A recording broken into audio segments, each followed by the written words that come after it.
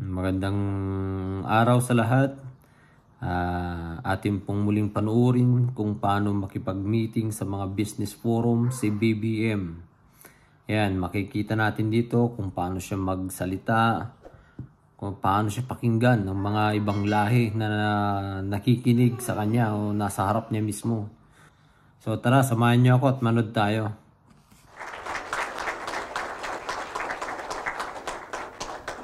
Thank you uh, to uh, Secretary Fred Pascual for uh, uh, that. Oh, please sit. please take your seats. To uh, uh, very uh, a, thumbnail sketch of what we are hoping to achieve at these meetings. We have also with us the Finance Secretary, Secretary Ben Diokno, and uh, our partner who uh, is an important part of all our plans uh, because of the new legislation that uh, we are having to we're having to enact to be able to respond better to the new economy. Uh, he's the Speaker of the House of Representatives in the Philippines, Speaker Martin Romualdez. And our ambassador, amba- ambassador to Malaysia of the Philippines, uh, Ambassador Charles Jose. Our partners in the private sector uh, who have come to join us today, uh, the business delegations, the uh, different corporations who are here represented, and together with their discussions with the Philippine delegation. Uh, ladies and gentlemen, uh, good morning. It gives me a great pleasure to address you about uh, the uh, good things that are happening in the Philippines and how we aim to move forward and uh, to move and cooperate strongly with our partners such as Malaysia to reap the benefits of partnership and cooperation in this shared future that we are facing. I will focus my discussion on what we have done so far, what the opportunities are between our two countries, and how we look forward to tapping the benefits of a deeper shared partnership for the future. Let me first discuss the Philippines' fundamentals and how we have fared amidst the recent global challenges. The Philippines has shown healthy signs of recovery from the economic downturn brought about by the pandemic. We are very proud to have registered a 7.6% growth in 2022. This makes the Philippine economy one of the best performing in the region. For the first quarter of 2023, the Philippines outperformed its peers in the region by posting the highest GDP growth of 6.4%, which is uh, right in the middle of our target of 6.0 to 7.0% uh, for the year. We rolled out our Philippine Development Plan for 2023 to 2028. The country has uh, been uh, open and uh, transparent, and has uh, these uh, these discussions that we have are not simply for us to explain uh, to our prospective partners what is happening and what we are planning to do in the Philippines, but also to listen to all of you and to uh, hear what are, in your view, are, are the necessary changes and the elements that we have to put together so as to be able uh, to make the Philippines a more attractive investment uh, destination. Uh, the, the country has uh, come up with a development plan which uh, centers on partnerships. And one of the, one of the central elements of uh, the economic policy that we have, uh, that we have uh, rolled out is the importance that we have put in the partnerships with our private sector. Uh, we have developed what we call the whole of the, which started off as a whole of government approach, wherein all the problems of, of that, that we are facing in terms of public service are attended to not only by one department or one agency, but all agencies that might be relevant in helping to face the challenge. Now, in the in the context of uh, uh, businesses and partnerships, what we have uh, come to extend that concept now to the whole of nation approach. And we believe, it is certainly my belief that the government can do much, but the government needs partnerships with every sector of government. And the private sector plays an enormous part in, that, uh, uh, in those development plans that we have. Malaysia is still the fourth top source of foreign direct investment to the Philippines. Uh, the FDI from Malaysia stands at about $108 million, which is, uh, continues to indicate a uh, strong interest from Malaysia to the Philippines. However, uh, it, has been, it has been at that level for uh, a fairly long time now. And I agree. I think that it's time that uh, with the new transformation, and this provides many new opportunities, and that will give us a chance to increase that uh, level of trade that we have been uh, uh, achieving over the past many years.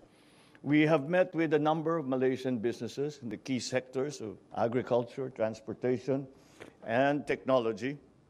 The insights from these meetings have once again convinced us that it is the right way. Uh, we, have, uh, we have embarked upon the correct way, the correct the, the, the changes uh, that we are that need needed to be made in the Philippines to make it again a ideal investment partner for Malaysian businesses. So once again, I thank you all uh, for joining us here and for your continued interest in the Philippines and in partnering with our private sector, with our government, and uh, in any other way that uh, we can uh, that we can achieve, so as to further this transformation that we are trying to bring about in the Philippines. The the investment commitments that we have received thus far uh, are valued at around $235 million which is a good indication that there is strong interest from Malaysia to invest in the Philippines. The engagement with Malaysian companies and business leaders this morning yielded very interesting and uh, what I believe will provide, uh, have a potential for mutual beneficial outcomes for both Malaysian and Philippine companies. At present, Malaysian investments already provide a valuable contribution to the Philippines and its economic development, particularly in terms of the administration's food security and in terms of infrastructure development, job generation for our Filipinos.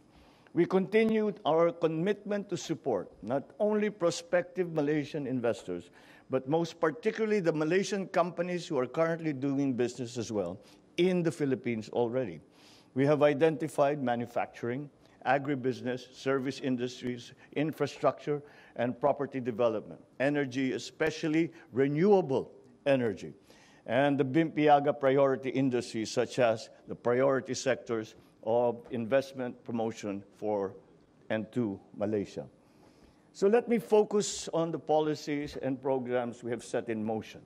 This is to support our proposition for the Philippines as your strategic partner for regional and growth investments. We have broadened the range of liberalized business and sectors through the passage of key landmark legislation such as the Retail Trade Liberalization Act, the Foreign Investments Act, the Public Services Act, and the Renewable Energy Act. Through these measures, we have opened up sectors including air transport, telecommunications, shipping, retail, and renewable energy projects to foreign ownership. Again, this is probably a very good example to cite in terms of when we say we talk about the whole of government approach. As you can well imagine, we could not possibly have achieved these changes without a close coordination with our partners in the legislature. And that is why we consider them again uh, to be essential in understanding and promoting, and finally enacting what amendments are necessary to the existing laws and to, and to enact new laws, which we think are uh, more attuned to the times that we are living in. So we have made our system of corporate tax more business friendly with a lower tax rate and improved mechanism for tax and duties incentives. We continue to seek, seek ways to facilitate and expedite investments. We have re recently established green lanes for strategic investments. It is a means of applying the whole of government approach so as to make it easier for our foreign partners to uh, facilitate at the high, that to work in the highest levels of government and to make the critical investments that, to make the critical investments that are necessary for the development and competitiveness in the Philippines. We are also leveraging our active participation in multilateral platforms to sustain and promote its economic agenda. As uh, we have all joined the uh, RCEP, or the Regional Comprehensive Economic Partnership, this again opens markets to the, to the Philippines. However, the fact that these markets are open to us does not mean that that is necessarily going to be a success unless we make ourselves competitive. And that competition is what will make the economy healthier. And that is why uh, the investments are necessary, and that is why the transfer of technology is necessary. And that is why the um, different, uh, what, what, we, we have to redress the balance, for example, uh, between our, uh, the contributions to GDP. Uh, we are, at the present, uh, it is a, the, the large part of the largest, the majority of the GDP, the contributions to GDP are in service industries, which is fine. Uh, so we are a service uh, export hub in the Philippines. However, we have to redress that balance and put manufacturing also uh, at a more even level uh, with the service industries in terms of their contribution to the GDP. And for that, we need capital intensive investments and uh, not the we are, hot money is, is all very well for making a quick buck, but that is not what we are looking for. Uh, what we are looking for are partnerships, what we are looking for are commitments uh, on a long term. So we can, so we can make a commit, when we make that commitment, that commitment will take us through uh, the many years to our final and ultimate success. So with our participation in, in, in multilateral co cooperation, such as RCEP, we are strengthening our participation in regional supply chains with an objective of attracting more foreign direct investment. The, the, Philippines looks to foster economic partnerships with our fellow ASEAN member countries, especially Malaysia, through this RCEP. The country looks at RCEP positively as a catalyst that will form more collaborations among businesses and bring prosperity to both nations. Participation in the RCEP is seen as beneficial for both countries as it enhances market access for most goods in the region and encourages investments in vital sectors. I think that in these critical times, I think a good uh, guide would be to say that we uh, compete with each other but we cooperate whenever possible. There is significant potential for complementation between our two countries. We take pride in our key asset, our people. The Philippines boasts a deep pool of human capital. They are highly skilled and educated, talented, dedicated to take on various roles in different sectors. Uh, the Philippine workforce is uh, accustomed uh, because of our very large OFW or overseas Filipino worker community, we are quite accustomed to working with uh, uh, partners not from the Philippines. Uh, for, so it is something that will be a natural uh, progression of uh, the experiences that people have gained while they were working outside of the Philippines.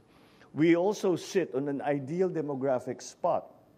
The median age of our country is 25 years old which gives us the, the youngest, the youngest workforce, the most uh, uh, of, of, all the, of all the countries around the region. And they are well trained. Uh, again, they are used to working with uh, foreign entities, such as uh, foreign, foreign uh, corporations, even governments, and have gained this cosmopolitan, um, this cosmopolitan experience to the advantage for our dealings with our foreign partners.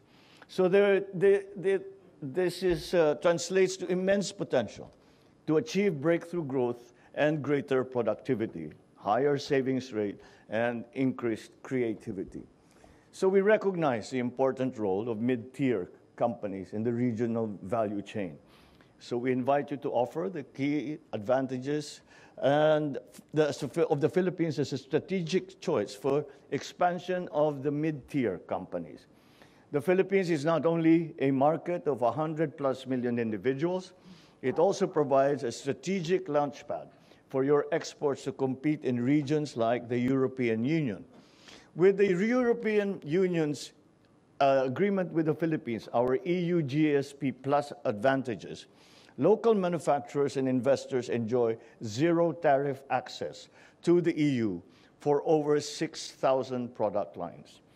So let me end with this assurance that we are committed and continue, will continue to commit our support to Malaysian investors.